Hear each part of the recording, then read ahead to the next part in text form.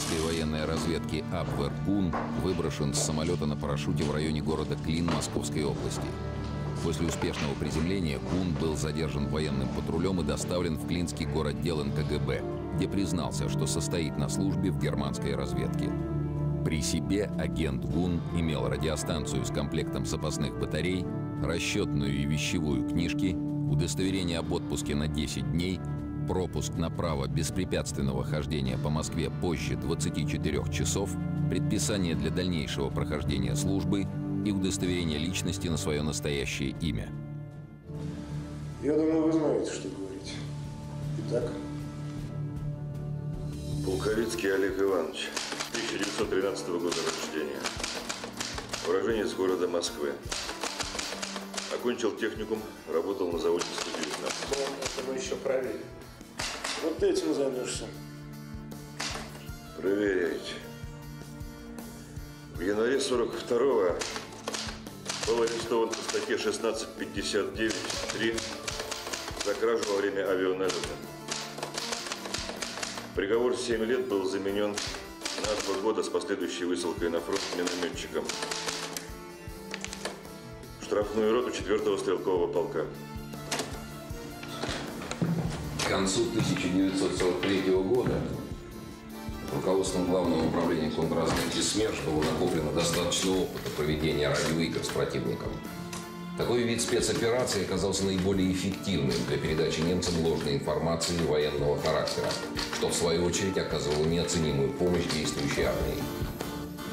После поимки агента Гунна руководство третьего отдела СМЕРШ решило провести радиоигру «Развод», главной целью которой было скрыть от германской разведки планы летнего наступления советской армии.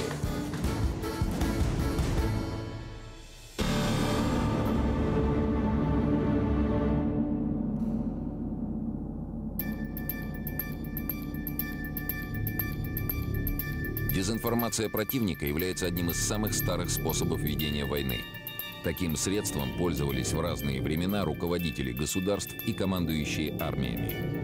Умело составленная и запущенная дезинформация помогала одерживать победы и на дипломатических фронтах, и на полях сражений, а также помогала скрывать свои планы ведения войны. Для того, чтобы дезинформация возымела действие, требуется, чтобы противник принял ее за действительность. А это во многом зависит от степени доверия к источнику информации. Да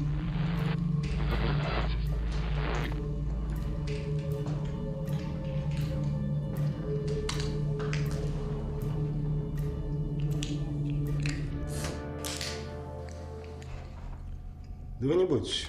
Никто не собирается вас тут убивать.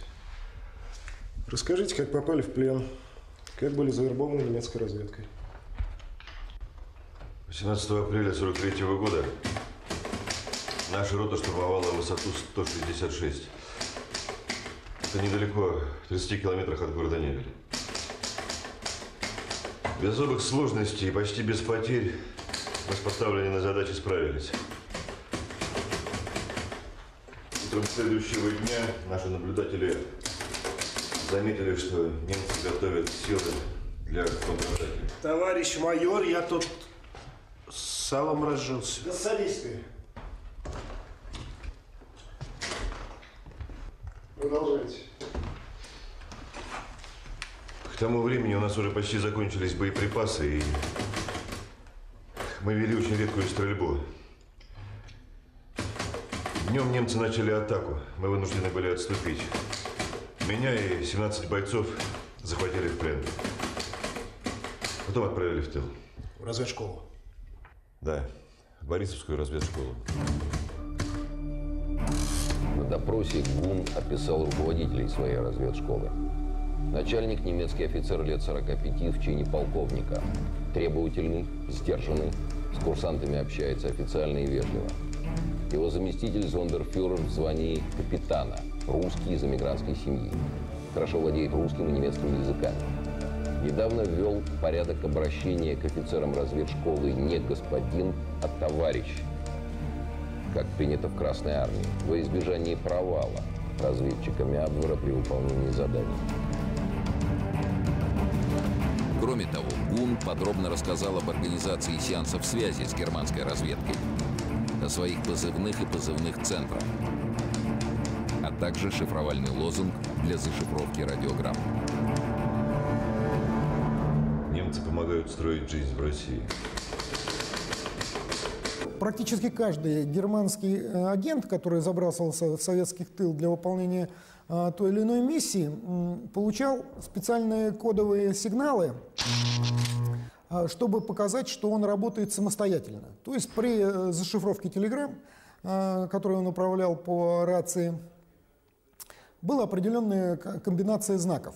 Например, у Гунна после там, четвертой группы знаков, там 4 по 4, он должен был поставить два знака вопроса.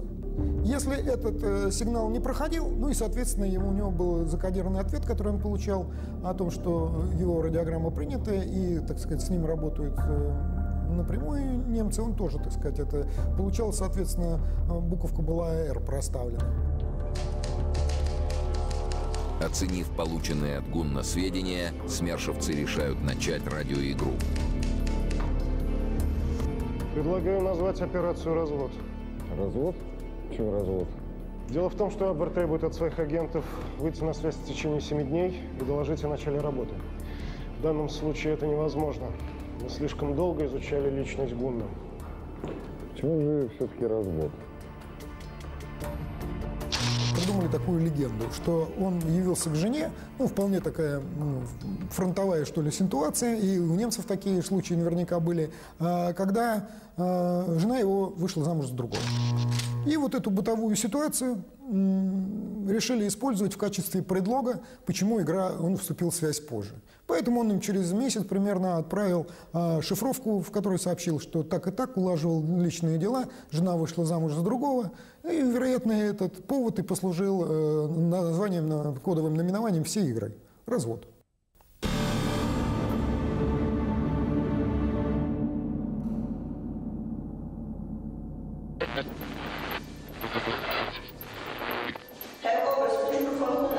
Полковник, радиограмма от Гуна.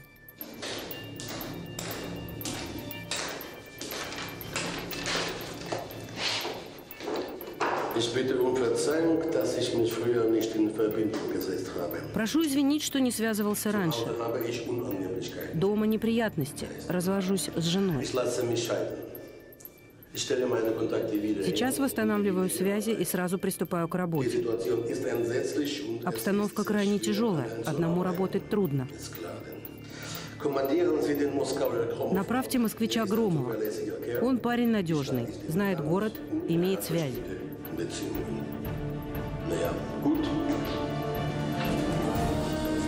В тот же день из центра пришла ответная шифровка.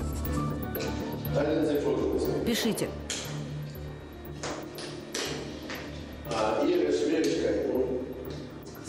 Ваши трудности учитываем. Тем не менее, с нетерпением ожидаем результатов вашей работы.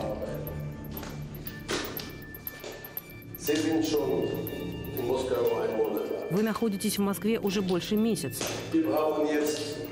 Вы должны сконцентрировать все свои силы для победы над жидобольшевиками.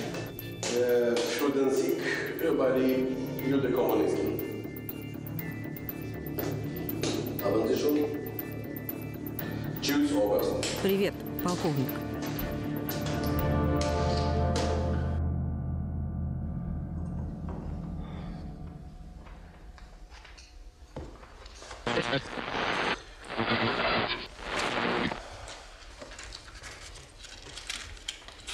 Скажите,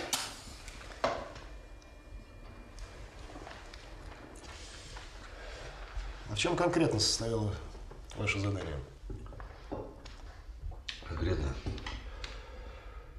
Во-первых, сбор данных о дислокации оборонных заводов в Москве и выпускаемой ими продукции. Второе. Сообщать о передвижении грузов по окружной железной дороге. В-третьих, узнать о форме пропусков движении в Москве во время авианалетов и после 24 часов.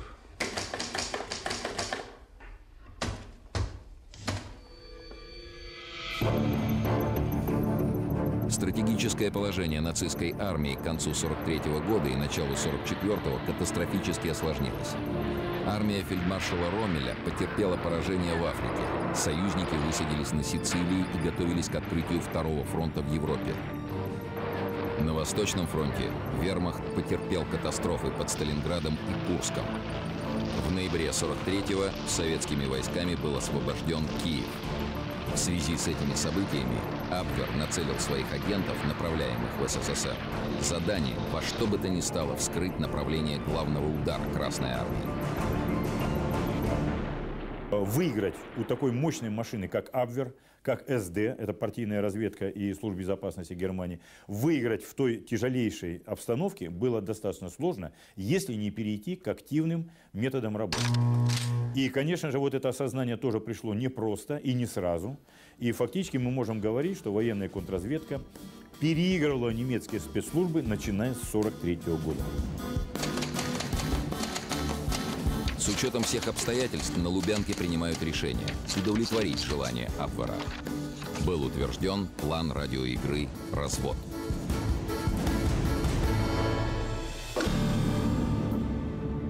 Предлагаем направить противнику информацию о железнодорожных перевозках военных грузов и дислокации частей Красной Армии вблизи столицы.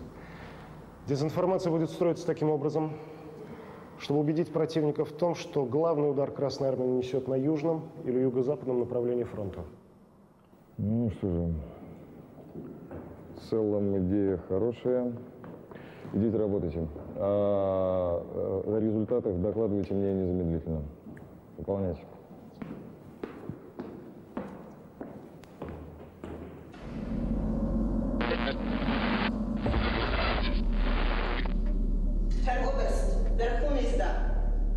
Господин полковник, ГУН.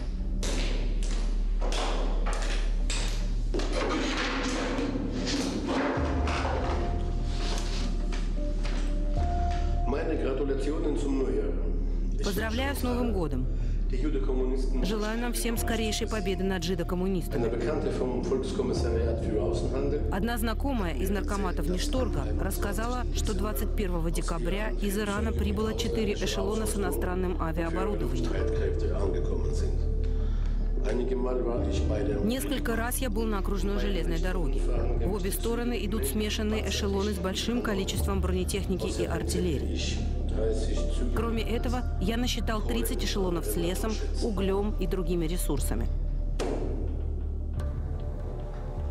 Радиоигра «Развод» проводилась в тесном контакте с разведуправлением Генштаба Красной Армии.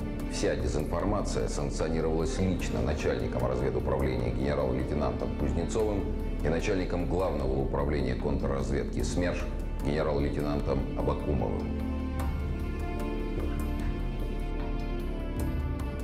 Те методы, которые применялись, инициатором их был, в общем-то, и если даже кто-то другой выходил с инициативой, то поддерживал эту инициативу и развивал инициативу, конечно же, начальник военной контрразведки Виктор Семенович Абакумов. Без него э, ну, не состоится просто история военной контрразведки за годы войны.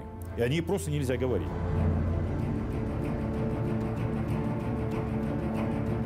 Стоит отметить, что Абакумов подчинялся непосредственно Сталину. Поэтому все происходящее на фронте и в тылу противника Абакумов докладывал лично главнокомандующему.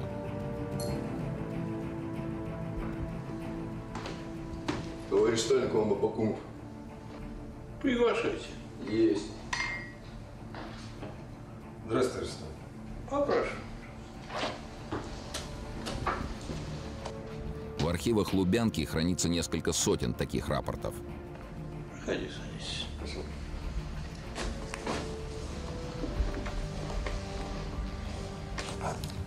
Поясните, что вы тут написали? Докладная записка. Совершенно секретно. Товарищу Сталину. Комиссара обороны товарища Сталина.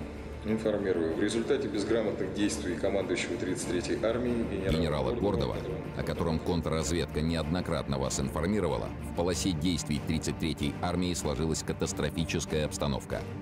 Своими непродуманными действиями Гордов потерял огромную массу личного состава и техники. Офицеров штабных подразделений, корпуса, дивизии, штаба армии он заставляет, вопреки всем нормам, выдвигаться в зону непосредственно боевых действий за 500-600 метров от линии немецких окопов.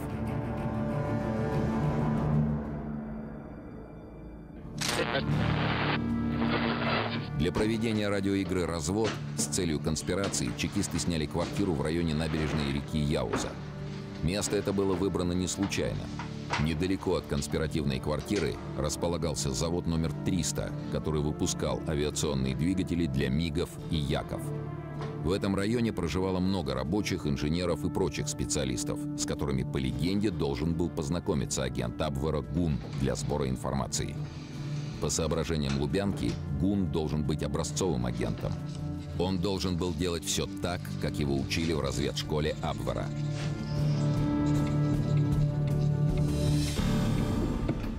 Как вас вообще учили давать сведения? Как? Нас учили, что можно давать сведения путем подкупа. Говорили, будут деньги, вы сможете купить нужного вам человека. А поподробнее, как именно? Подробнее. Путем подслушивания в общественных местах, путем наблюдения, легальным или нелегальным способом, скрытого наблюдения. Можно давать сведения по обрывкам газет. К примеру, воинская часть издает газету. На ней стоит органы и год издания.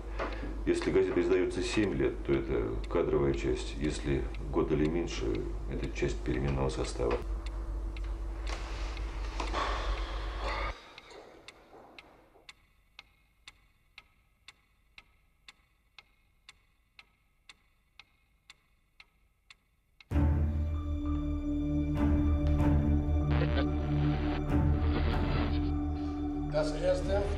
Первая, основная – халатность.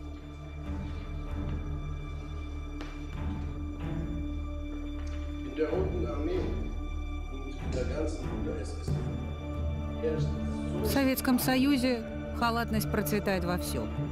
Любые сведения можно получить путем подслушивания в различных местах. Расширяйте круг своих знакомых. Даже у простого рабочего можно выведать необходимые сведения. Например, если он работает на каком-нибудь военном заводе. Курсантов разведшкол вербовали в основном из советских военнопленных. После их согласия пленных отправляли на откормку и хозяйственные работы. В школе их переодевали в военную форму. Преподавателями наряду с немецкими офицерами были и бывшие советские командиры, большинство из которых добровольно согласилось на службу в немецкой разведке. Были среди преподавателей и бывшие царские офицеры. Слышу я голос между Приготовьтесь.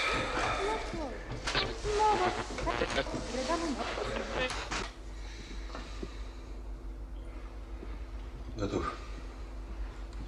Хождение по городу в ночное время разрешено до двух ночи. Выпуска с 5 января новые. Достать их не могу. При первой возможности постараюсь узнать форму и текст. Еще раз прошу выслать мне напарника. Подпись ГУР.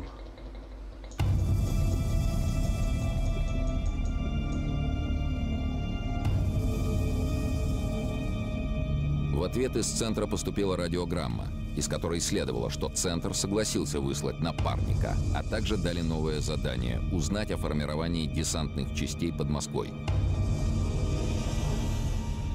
Дело в том, что Абвер уже пытался через другого агента выяснить эту информацию и обладал определенными данными по десантным частям. Таким образом, немцы пытались проверить Гунна, сравнив информацию из двух источников. К сожалению разведчиков Абвера, оба источника передавали Дезу под диктовку смершевцев.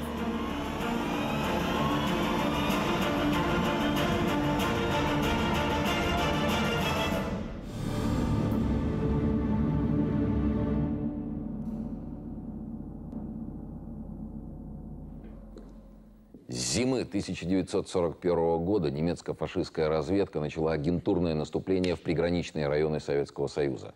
Перед диверсионно-разведывательными группами стояли следующие задачи. Создавать склады оружия, базы и площадки для парашютного десанта, устанавливать ориентиры для воздушных бомбардировок военных, промышленных и транспортных объектов, организовывать антисоветские банды, совершать поджоги и взрывы, нарушать связь, отравлять источники воды. Только в 1943 году мы восстановили тот потенциал, который был утрачен в 1937-1936 году. Э, работники получили достаточный уже опыт э, непосредственной работы в условиях фронта, в условиях тыла, получили опыт противодействия немецкой разведки. И мы можем твердо говорить, что с 1943 года, так же, как и наша родная Красная Армия, начала такие мощные победы да, и фактически противодействовать вермахту. То же самое и контрразведка. В начале февраля 1944 года германскому командованию была передана дезинформация, целью которой было задержать на некоторое время наступление немцев в районе Черкас на соединение с крупной группировкой, взятой Красной Армией в клещи.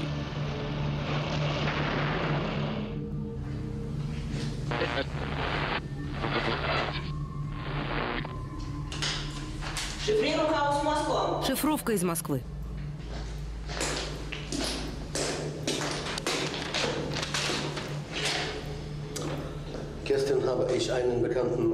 Вчера встретил знакомого майора из штаба Первого Украинского фронта.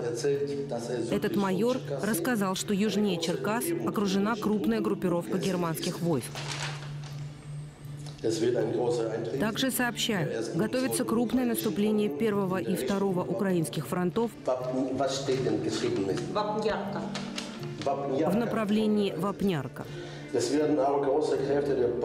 Стягиваются большие силы танковых артиллерийских частей в район Казатин. Проводить связь одному очень трудно. Мне несколько раз мешали. Нужны батареи для рации и деньги. Прошу, ускорьте приезд Громова.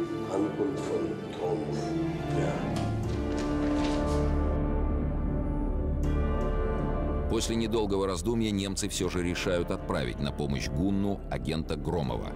Тем более, что сотрудников Абвера смущал факт наличия у Гунна множества знакомых офицеров, стенографисток и летчиков. Поэтому Громов получил задание проверить Гунна и затем втайне от него доложить в центр. Дело в том, что в Абвере прекрасно понимали, 9 из 10 завербованных агентов видят в своей работе на немецкую разведку – единственный способ возвращения домой из плена. Многие догадывались, что на родине их ждут лагеря ГУЛАГа, а может быть расстрел. Сталин объявил, у нас нет военнопленных, есть изменники Родины. Тем не менее, многие считали, что лучше вернуться, чем испытывать доводящий до животного страха ужас немецких лагерей.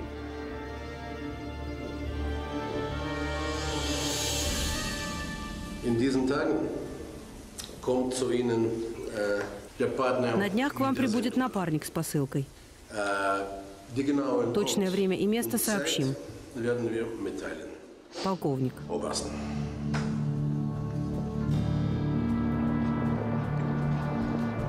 После получения этой радиограммы смершевцы решают, что Гун самостоятельно встретит напарника и отведет его на конспиративную квартиру. Одновременно, во избежание возможных неожиданностей, за Гунном было установлено дополнительное наружное наблюдение.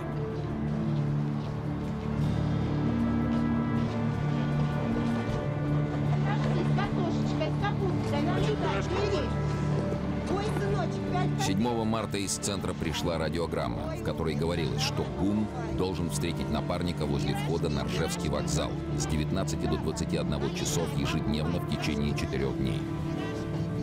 Однако в указанное время напарник так и не появился. Этот факт насторожил чекистов. Не раскусили ли в Абвере Гунна? Однако даже если это и так, то зачем немцы продолжали игру в эфире? На Лубянке принимают решение продолжать игру и посылают в Абвер тезу про подмосковные десантные части. Наживка сработала. 20 марта из центра пришла шифрограмма. Товарищ выезжает. Встречайте на том же месте. С 19 до 21 часа.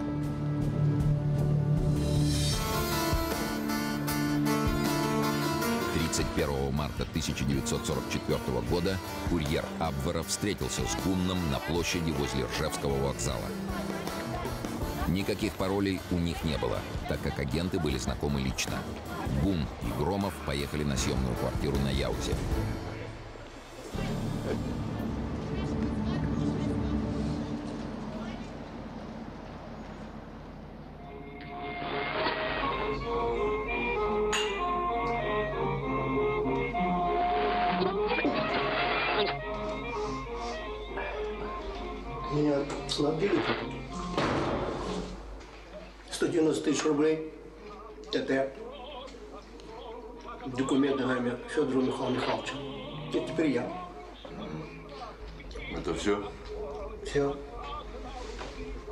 Питание для рации? Я не смог найти чемодан, когда приземлился.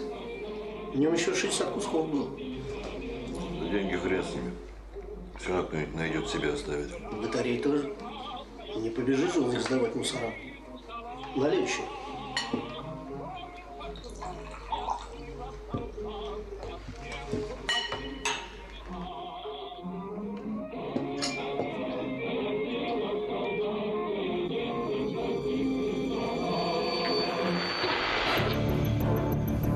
Результате дальнейшей радиоигры с марта по июнь 1944 года немцам было передано 15 шифрограмм. В результате германские спецслужбы на основе ложной информации пришли к неверному выводу, что летнее наступление начнется в направлении между Карпатами и Ковелем.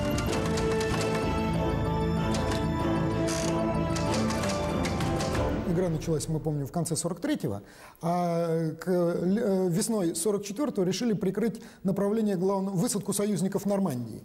И для этого немцам э, легендировали о том, что э, агент германской разведки получил сведения от своего знакомой, что группа военно-морских офицеров выехала в Лондон для, того, для консультаций по вопросу высадки союзников в Северной Норвегии. Потому что Норвегия занимала такое важное стратегическое положение, к тому же очень близко э, все-таки была к основным театрам военных действий. И вот такая инфор- дезинформация немцам была отправлена по этой э, игре. Надо добавить, что Гитлер был крайне недоволен работой Абвера. Поэтому к июню 1944 года тучи над руководителем Абвера, адмиралом Канарисом, сгустились беспросветно. Он был арестован и помещен в замок Лауэнштейн под домашний арест, а в апреле 1945 года адмирал был казнен. Известно, что еще с 1938 года Канарис был тесно связан с заговорщиками, которые планировали свержение гитлеровского режима. Также известен и тот факт, что Канарис в 1942-1943 годах встречался с представителями английских и американских спецслужб. Возникает логичный вопрос, на кого работал Канарис и его разведка? Однако однозначного ответа не существует. Канарис все-таки не совсем разделял э, нацистские, нацистскую идеологию и подспудно понимал, что крах фашизма, он неизбежен. Естественно, он думал о своем будущем и э, убежден, что у него были контакты с западными спецслужбами. Тем временем радиоигра «Развод» продолжалась. С целью закрепления авторитета Гунна, демонстрации возможностей для его длительного оседания, чекистами было придумано открытие Гунном столярной мастерской и покупка под Москвой дачи для более удобной и надежной работы. Для этих целей было решено затребовать у центра денег и радистку. Также противнику было передано несколько шифрограмм, касающихся парашютно-десантных бригад и перевозки военных грузов. В это время Борисовская разведшкола готовилась к эвакуации. Утром 23 июня 1944 года советские войска перешли в наступление в рамках операции «Багратион» по освобождению Белоруссии. Особым сюрпризом для немцев оказалось наступление со стороны Первого Прибалтийского фронта.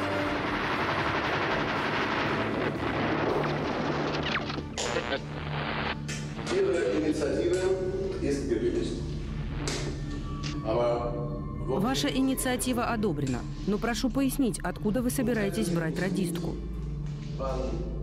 Также просим Громова сообщить, когда он вместе с Ридицем и Боншторфом сидел в тюрьме. Таким образом, Абвер проверял своих агентов на самостоятельность. Не действуют ли они под диктовку советской разведки? Ответ пришел незамедлительно.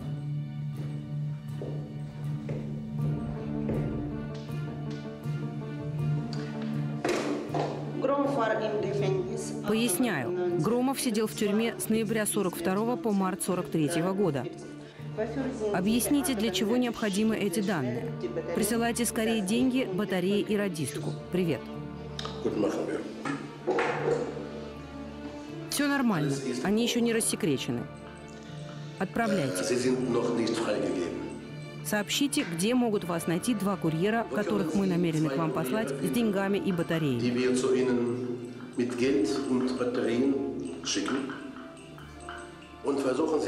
Также постарайтесь узнать о подробностях воздушного сообщения от Аляски в Союз. Привет, полковник.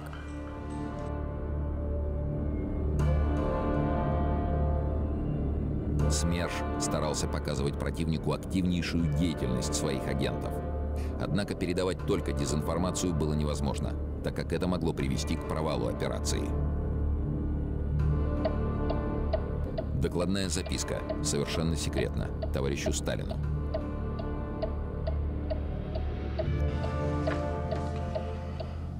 Абвер поставил своим агентам задачу. Абвер поставил своим агентам задачу выяснить, на какой участок фронта будут перебрасываться войска, которые освободились из районов Прибалтики. Полагаю, что прямая дезинформация может привести к провалу радиоигр, проводящихся в данное время. Предлагаю максимально расплывчато и невнятно ответить на этот вопрос. Так как немцы понимают, что информация такого рода их агентам недоступна. Абакумов. Желаю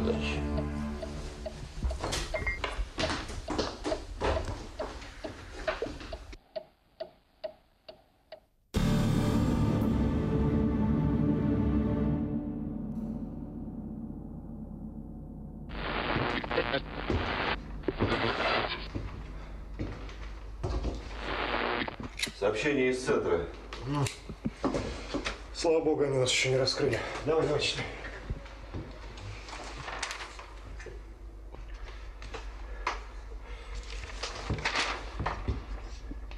Оба курьера прибудут 24 ноября. Встречайте на Ржевском вокзале.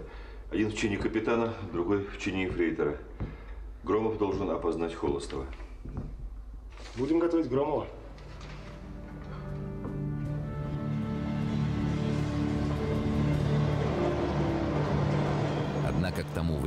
Громов находился уже в тюрьме и встретить курьеров не мог. Опознать немецких агентов предстояло Гунну. Получив сведения о прибытии курьеров, чекистами был разработан план задержания агентов-связняков. Был придуман условный сигнал на случай, если Гунну удастся узнать шпионов. Должен снять шляпу и поправить прическу.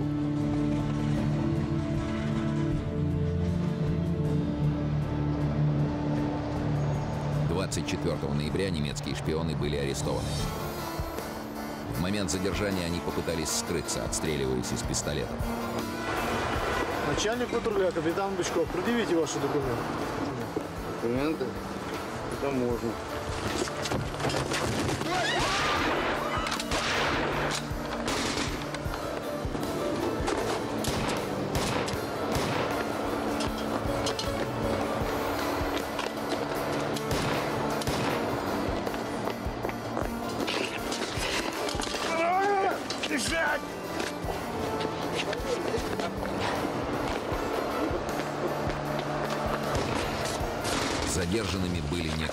Холостов и Воронов, которые оказались опытными немецкими шпионами. При себе они имели 300 тысяч рублей, советские ордена и медали, золотые украшения, чистые бланки документов, питание для радиостанции. Как выяснилось, Холостов и Воронов во время пребывания в Псковском лагере для военнопленных добровольно вступили в русскую освободительную армию, а затем были завербованы одним из преподавателей Борисовской разведшколы.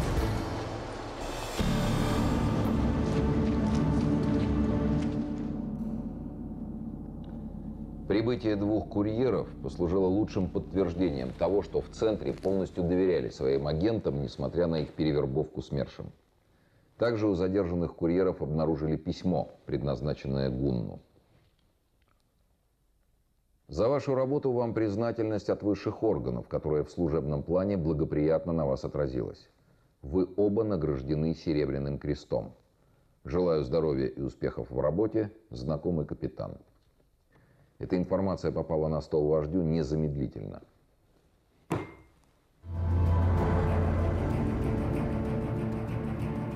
В период с ноября 44 по март 45 года противнику был передан целый ряд дезинформационных материалов различного характера. Причем чекисты даже постарались успокоить противника, что зимой 45-го Красной Армии не планируется активных боевых действий. Однако на деле все выглядело совсем по-другому. Почему же немцы, обращенные в бегство, продолжали доверять своим агентам? Нужно психологически попробовать себя поставить на место руководителя военной разведки. А, во-первых, э, почему они работали с Гунном? Не было оснований предполагать, что он давал неверные сведения. То есть э, дезинформация составлялась так умело и так дозированно, и так была хорошо перемешана с правдой, что обвинить э, своего агента в нечестности они просто не могли. То есть оснований сомневаться не было. Однако фронт неумолимо приближался к Берлину. Связь с центром от сеанса к сеансу становилась все хуже.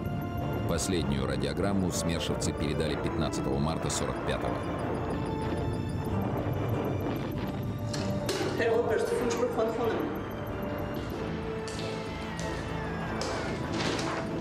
Связь с вами стала очень плохой. Часто работаем впустую. Не могу своевременно передать информацию. Радиоигры – это особая тема. Это особая гордость вообще советских органов, советских спецслужб, советских органов госбезопасности. Потому что именно благодаря радиоиграм удалось значительный период времени э, большой объем дезинформационных материалов представлять и доводить до фашистского командования. Э, именно в этот период мы перераспределяли свои возможности для того, чтобы все-таки на более, наносить более верные удары по фашистам. За период проведения радиоигры «Развод» противнику было передано 69 радиограмм, получено 23. Перевербованный агент германской разведки ГУН за честное выполнение заданий госбезопасности был награжден орденом Красной Звезды. После войны проживал в Москве. Агент Громов был осужден особым совещанием при НКВД на 15 лет. Холостов и Воронов приговорены к расстрелу. Приговор приведен в исполнение.